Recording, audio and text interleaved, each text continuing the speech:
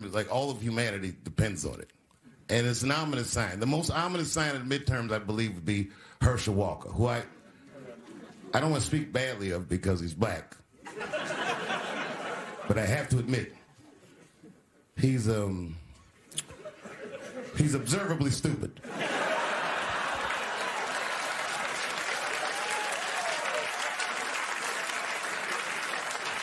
Even when he's not talking, his mouth be open a little bit like.